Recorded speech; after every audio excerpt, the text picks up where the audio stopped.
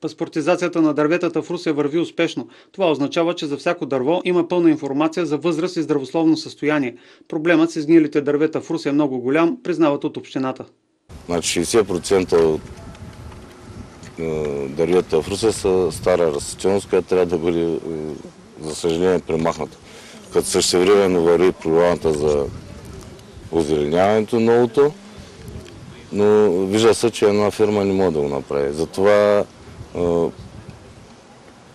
едно от нововведенията е, че всяка фирма, която спечели в новата поръчка, ще си отговаря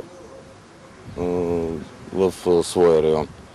Което означава, че ние имаме 4 района, ще има 4 фирми, които ще в собствен си район ще решат този проблем. Към момента в град Руса има картотекирани около 26-27 хиляди дървета, а, които са може би около една четвърт от общия брой дървета в целия град. А, средната възраст на растителността е над 50 години вече и предстои реконструкция на старата растителност, която по улиците особено представлява опасност както за пешеходци, така и за сгради където не е възможно на мястото на старите дървета да се засадят нови заради подземни комуникации, те се отстраняват и се възстановява настилката.